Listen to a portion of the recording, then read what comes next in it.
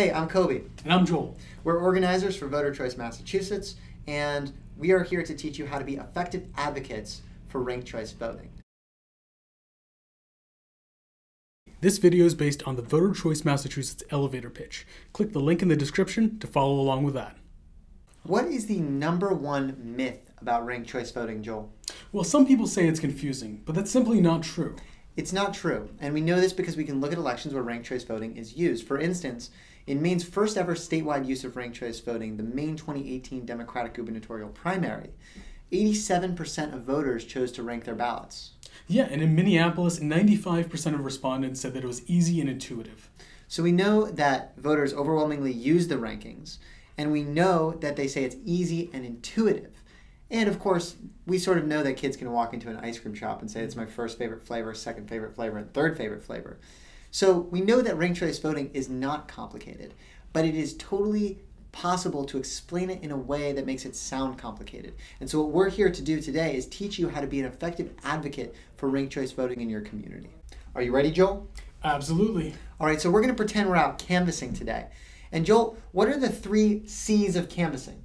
Well, that would be confident, concise, and closing. We have to be confident, concise, and closing. So when we're out there canvassing, we're going to stand with our clipboard at our side, open body language, and we're going to do our intro, which is very conversational and relaxed. We don't have to go out there and say, hey, do you want to save democracy? We can say something like, Hi, I'm Joel, and I'm organizing for ranked choice voting.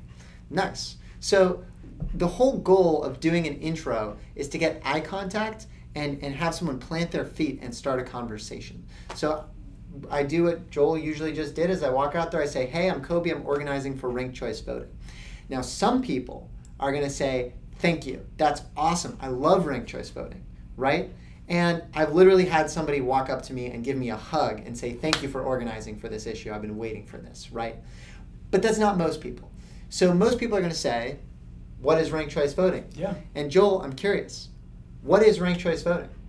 Well, ranked choice voting is a simple upgrade to the way we vote. Ranked choice voting is a simple upgrade to the way we vote. Now, here's the thing, folks. It is entirely true to say that ranked choice voting is an instant runoff system whereby if no candidate has a majority of the vote in the first round, then we eliminate the last place candidate and transfer those votes to those voters' second choice until we have a majority. That is true. It is not the best way to be an advocate for ranked choice voting. The way you concisely explain ranked choice voting is by saying ranked choice voting is a simple upgrade to the way we vote. Right now, go for it, Joel. Well, right now, you're forced to choose one candidate. But with ranked choice voting, you can rank the candidates first choice, second choice, third choice, in the order you prefer. Perfect. So it took us three sentences to explain ranked choice voting and in, a way that, that makes sense to people, right? And so we've been confident and we've been concise in describing ranked choice voting.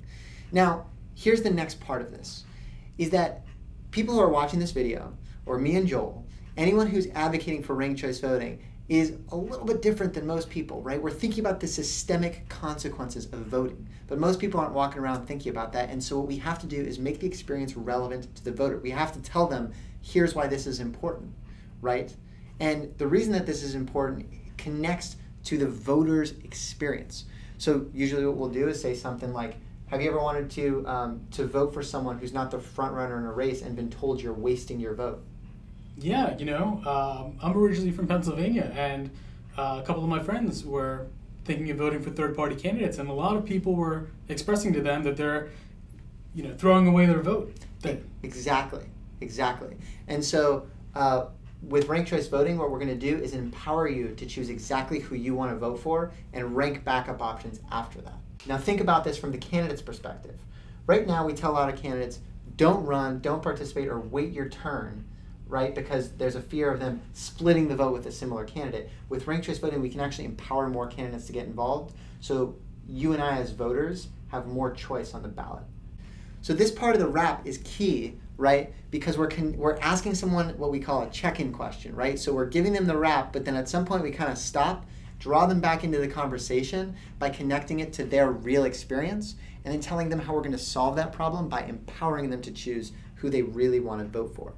And Joel, what's the final part? What's the one skill we haven't used in our canvass rap yet? I believe that would be be closing. Here's why closing is important. It is awesome to go talk about this nifty idea we have to improve the voting system, right? but it does not matter unless we're adding supporters, growing capacity, and getting closer to winning ranked choice voting. So, Joel, what's the last part of the rap? Well, just summarize. So, number one, ranked choice voting is about empowering you as a voter. Number two, it's empowering more candidates to run. Uh, so we can have a truly vibrant democracy. That's something you can get behind, right? Yeah. Awesome. And as soon as you get that yes, as soon as you sort of assume support, that's work you can get behind, right? And ask, and someone says yes, you've just unlocked the door to all of the resources that we need to win the movement for ranked choice voting. It doesn't matter if you're asking for someone to sign up, to join you for a bill hearing, a lobby day, uh, to put a signature to get you on the ballot, for $100, for $1,000, it's all the same. We have to ask for support. Are you ready to win the movement for ranked choice voting, Joel? I am. Let's go do it. Boom.